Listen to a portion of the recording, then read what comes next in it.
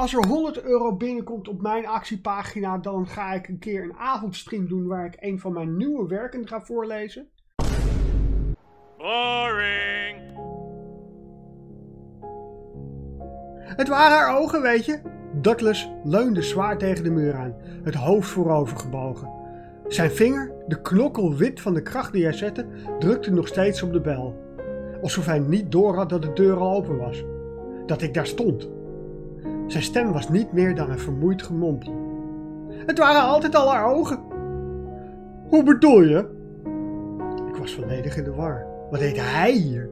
En waar had hij het in godsnaam over? En laat die fucking bel los!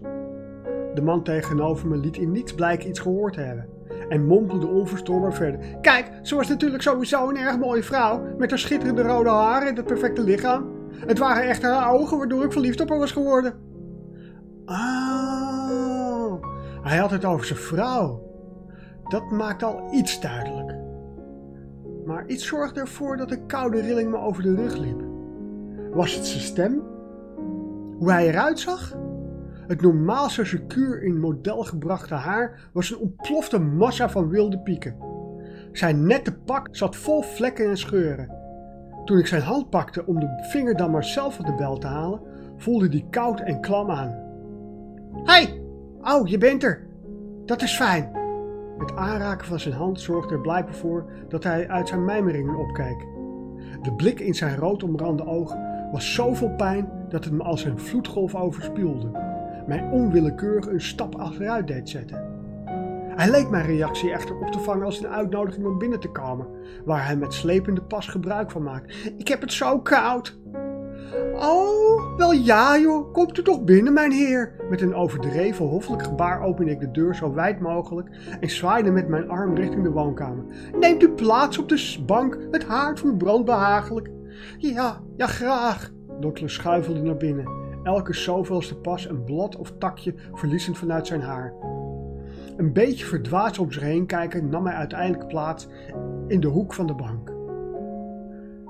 Nog steeds een beetje overrompeld door wat er allemaal aan het gebeuren was, sloot ik de koude najaarsstorm buiten en liep peinzend ook de woonkamer in. Douglas was in al die jaren dat hij naast me woonde nog nooit bij mij binnen geweest.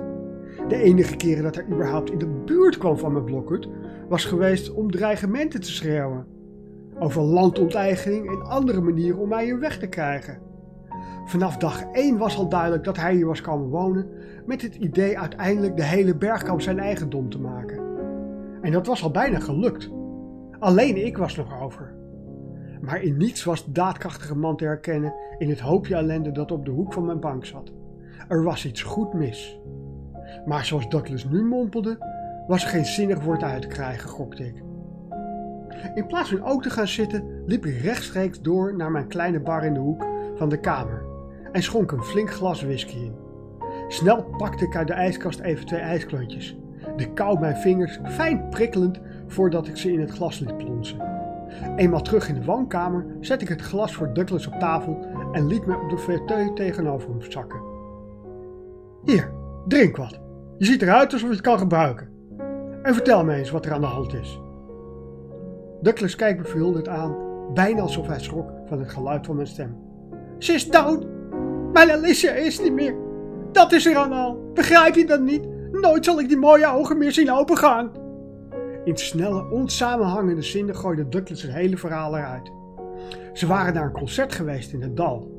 Terwijl de storm steeds heviger werd, waren ze in de oude Rolls Royce teruggereden de berg op, op huis aan. Douglas had zijn chauffeur al jaren geleden ontslagen omdat hij het rijden zelf veel te leuk vond, dus ook nu was hij degene achter het stuur.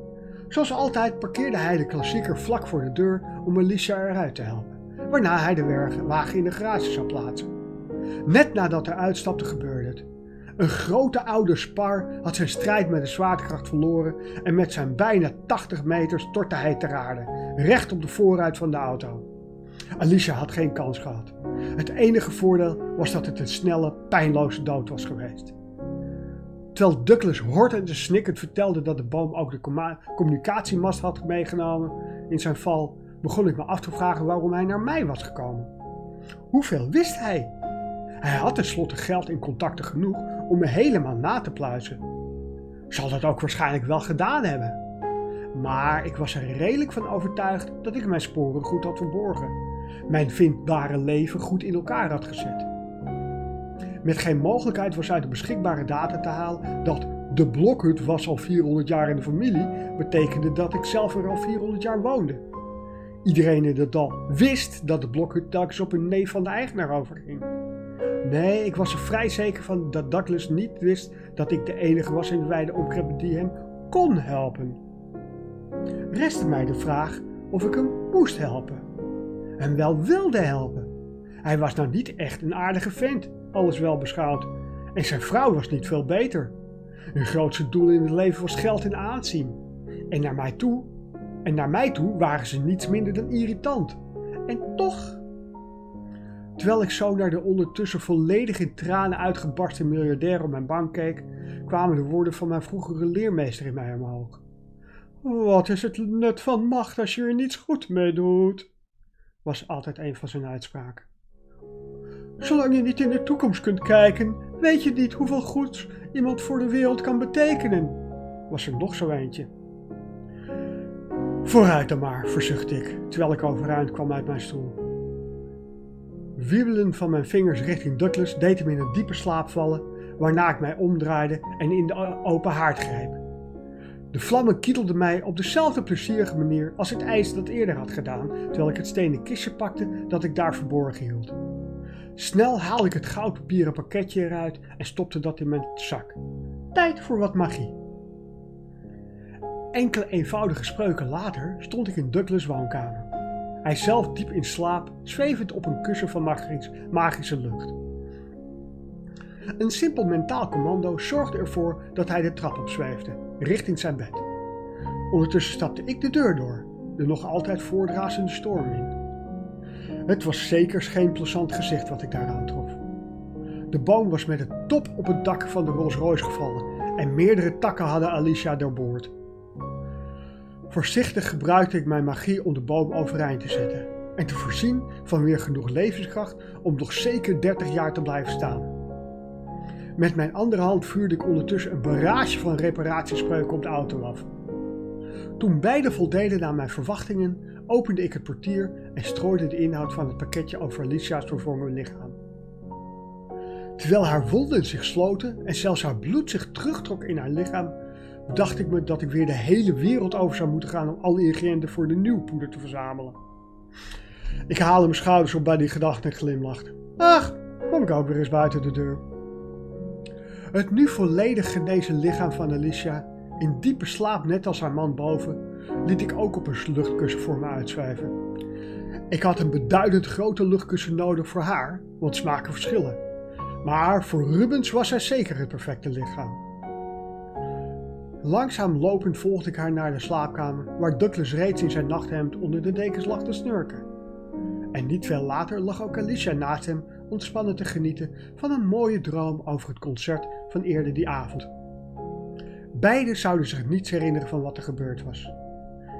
Met een lichte spijt bedacht ik me dat dat dus ook betekende dat onze relatie waarschijnlijk niet veel zou verbeteren. Maar dat was dan maar zo. Een knip van mijn vingers was alles wat nodig was om mij weer voor mijn bank te laten verschijnen. Even zuchtte ik.